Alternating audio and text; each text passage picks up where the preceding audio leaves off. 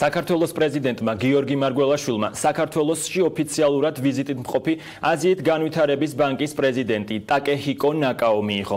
პრეზიდენტთან საუბარი შეეხო აზიის განვითარების ბანკის სამომავლო გეგმებს ინფრასტრუქტურული პროექტების მიმართულებით. გამოითქვა ინტერესი, რომ ბანკი ჩაერთოს ავტობანებისა და საგანმანათლებლო პროექტებში. გიორგი აბაშიშვილის განცხადებით, აზიის განვითარების ბანკი საქართველოს მნიშვნელოვანი პარტნიორია და აღნიშნული ვიზიტი ქვეყანას შესაძლებლობას მიცემს უფრო მეტად გაღრმავდეს და გაბართოვდეს თანამშრომლობა აზიის განვითარების ბანკთან.